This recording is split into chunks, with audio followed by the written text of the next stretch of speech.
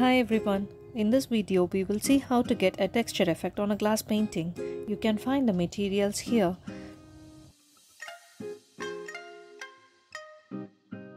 On a board, fix the design sheet first, then OHP sheet on top of it using your masking tape. Now start using your outliner and draw the outlines of your design as shown in the video. Once you completed your design with the outliner, allow it to dry completely. Once your outliner is dried, now use your fabric glue and give the texture effect as shown in the video. You can use your fabric glue knob as well as well as your fingers like you can do with the scribbling effect or dots or whatever design you want or you can just use your finger to tap the fabric glue to get those texture effects.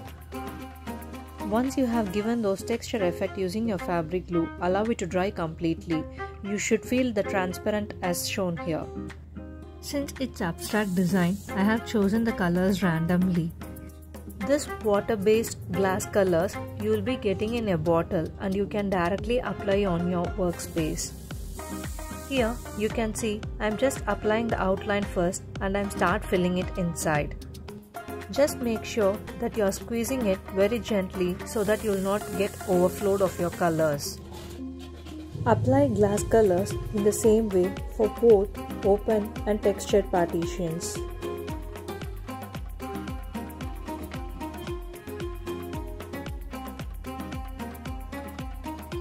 Use toothpick to remove the bubbles that pop up while doing those glass colors.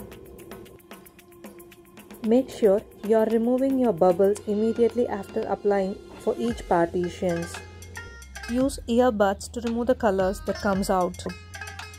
You can also try the shading method here. Just have a drop of one color first like I have taken a brown here then I have mixed a white on top of it with a one drop now blend it quickly and spread on your partition. You can squeeze the colors one more time if you want to fill the gaps. I'm just making a circular blending and I'm just spreading it.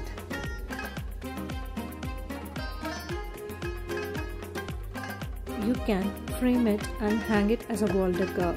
You can even also try on glass bottles as well. Thank you for watching.